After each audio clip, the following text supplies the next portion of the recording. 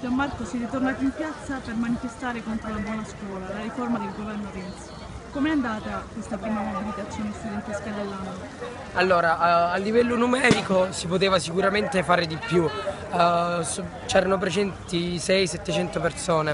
Uh, I motivi della manifestazione a livello territoriale erano chiari uh, e non c'entravano realmente con la buona scuola, erano il progetto di comodato d'uso dei libri di testo che abbiamo inviato col comune e che porteremo avanti, un progetto sempre comunale sugli spazi sociali per convertire un bene mafioso in uno spazio gestito dagli studenti dove si faccia un'assemblea il pomeriggio, dibattiti, sale prova, cineforum Uh, e poi chiedevamo uh, alla provincia di un servizio migliore uh, per quanto riguarda i trasporti.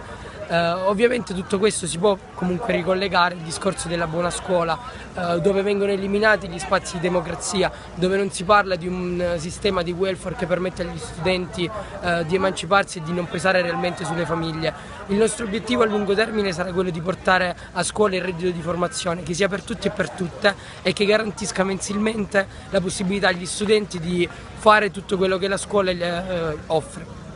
Ovviamente il discorso della, della buona scuola rimane, rimane, aperto, cercheremo di boicottarla dall'interno, sia nelle mobilitazioni nelle piazze sia nelle mobilitazioni interne alle scuole.